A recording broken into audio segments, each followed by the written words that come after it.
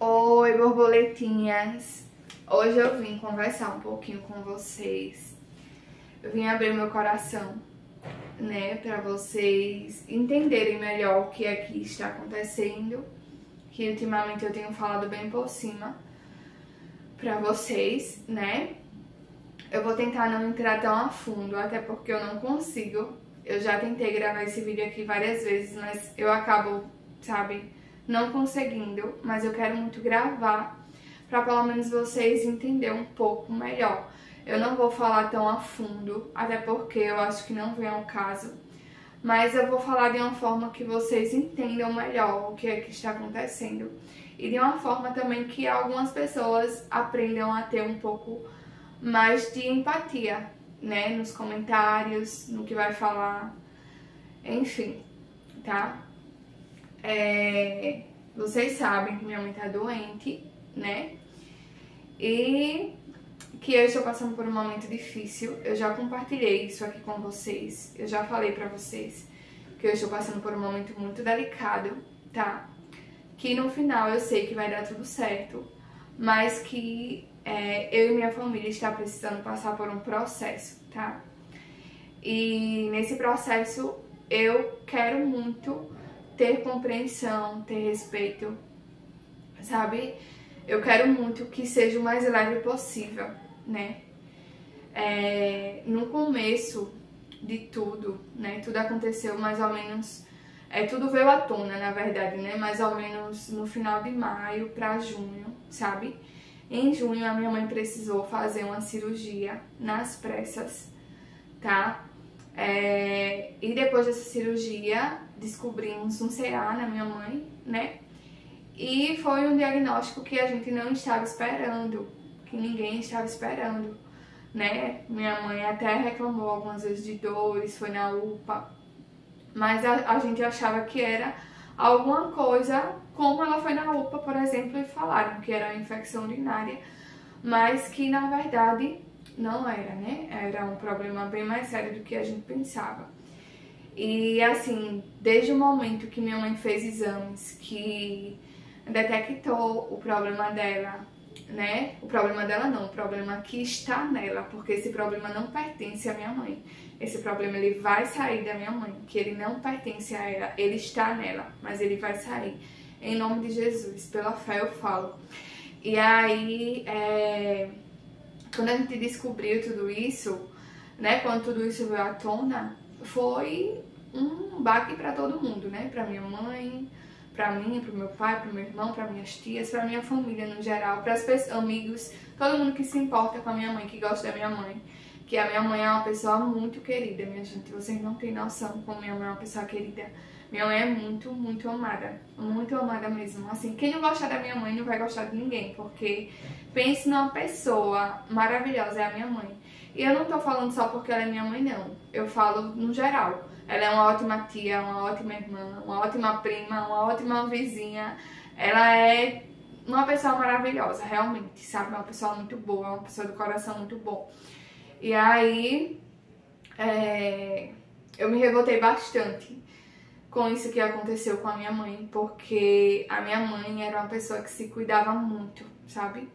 Ela sempre se cuidou muito, então ninguém vai poder falar assim, ah, mas não se cuidou, então, né, ninguém vai poder falar isso, porque a minha mãe se cuidava muito, né, inclusive teve muita, muita negligência médica, porque é, a minha mãe fez exames, era em março, em maio ela descobriu o problema que, tipo, nos exames que ela fez já era pra a América ter falado algo pra ela, né?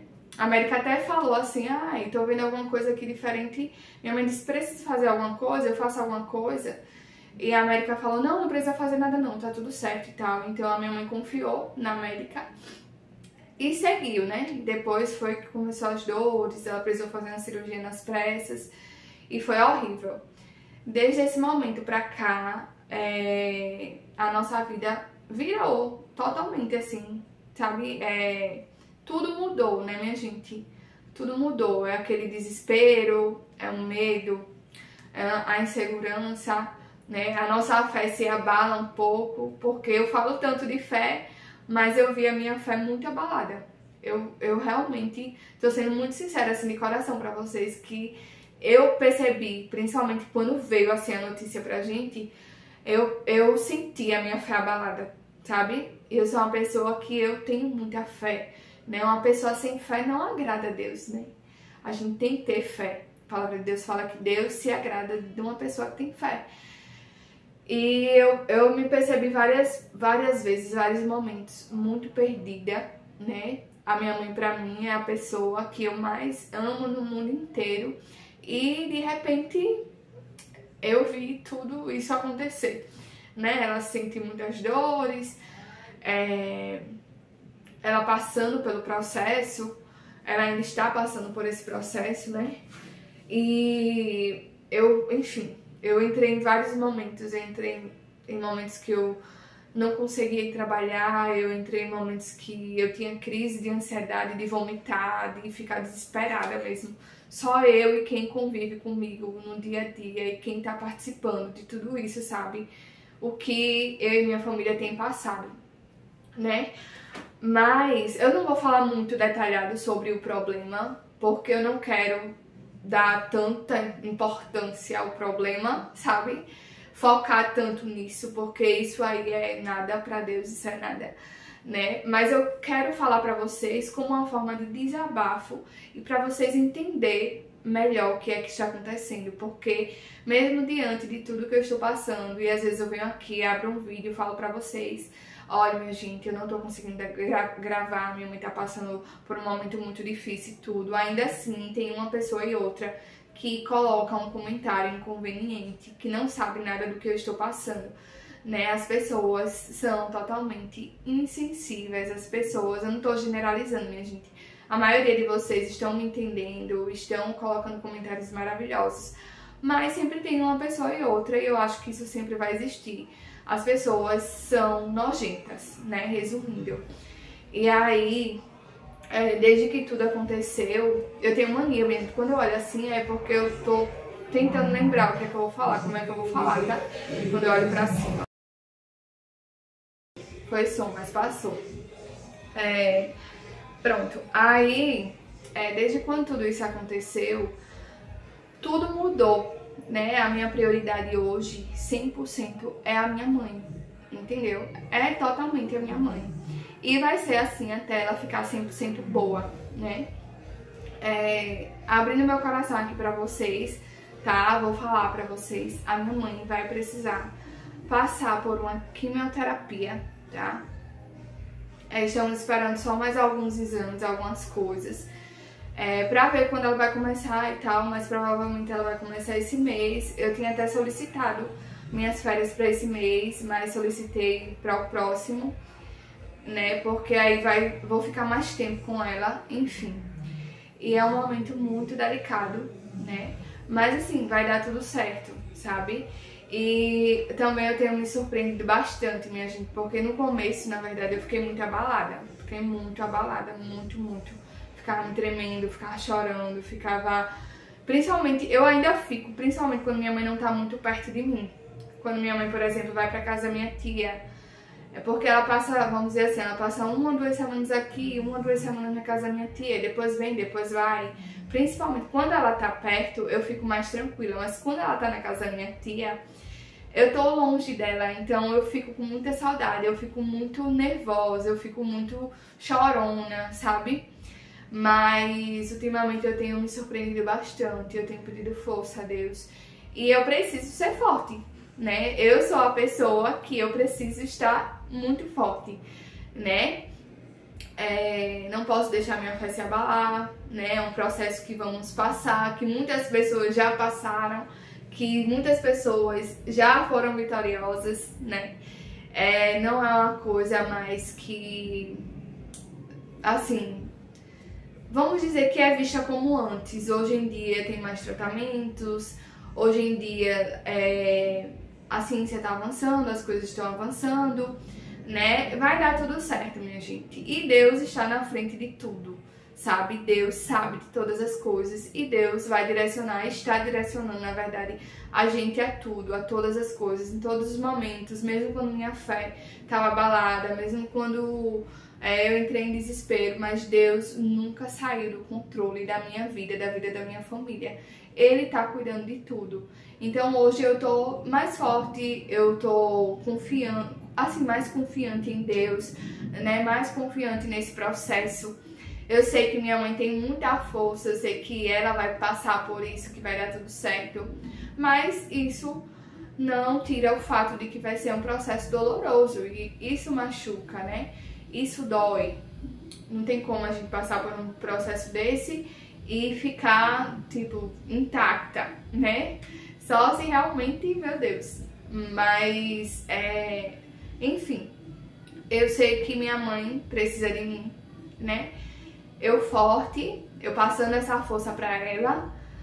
E é isso, tá? Resumindo pra vocês, é um problema delicado da minha mãe, mas é um problema que vai que tem solução, que ela vai se cuidar, que ela vai se tratar, ela vai ficar boa. Depois aí eu já vou estar tá gravando vlogs com ela, a gente depois vai contar o testemunho dela, né? O nosso testemunho que a gente passou. E, enfim, independente de qualquer coisa, Deus é bom. Deus é bom o tempo todo.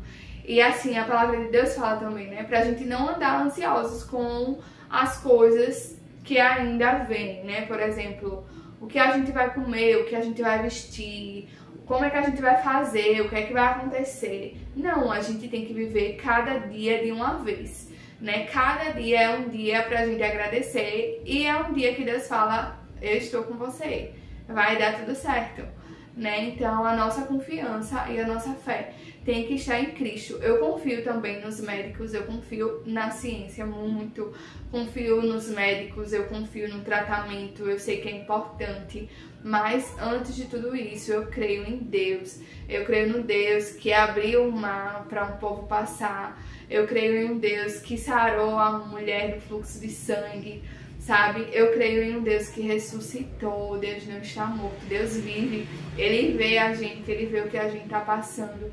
Então eu creio, né, aquela tumba ali está vazia, Jesus ressuscitou. Eu creio no poder do Espírito Santo, né? E o Senhor está com a minha família, o Senhor está com a minha mãe todo o tempo.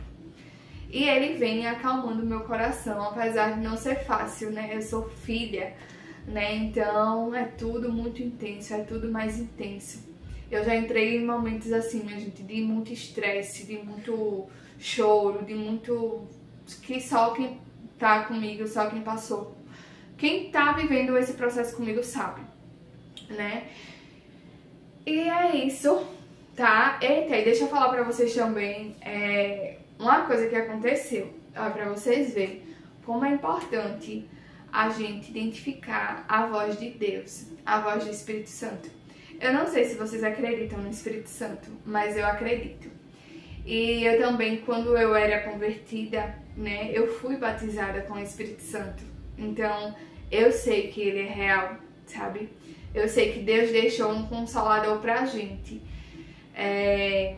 Enfim. Depois, se vocês quiserem, eu falo um pouco sobre como foi o meu batismo com o Espírito Santo, né? Na época que eu fui batizada com o Espírito Santo, que é uma coisa assim surreal. E eu não tenho dúvidas, né? Eu não tenho dúvidas da existência de Deus. Só que hoje em dia eu tô afastada, né? Eu tô desviada, não, tipo assim, eu só vou pra igreja visitar e tudo mais. Enfim, tô bem. Vou falar até pra vocês pelo que eu já fui, eu tô até fria espiritualmente falando, né?